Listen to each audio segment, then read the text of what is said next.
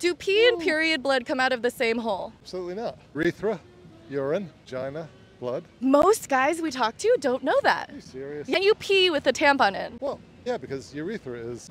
Yeah. Well, How often should you be changing a tampon? obviously, it depends on the flow, but average three hours, four hours. You know about the tampon tax? No. So the tampon tax is a sales tax in over 20 states still Wow. that taxes period care as a non-essential good, so like a luxury item. Meanwhile, products like Rogaine and Viagra are considered medical necessities. And while you might think that they're medical necessities, like if that's the standard, then period products should absolutely be necessities. Oh, it's a very important thing. I mean, I've read about you know girls in emerging countries mm-hmm. that you know might not be able to go to school that day because they don't have products, period products. Why are there different sizes of tampons? We're we talking about the external, what they would call, or the No, internal that's the pad.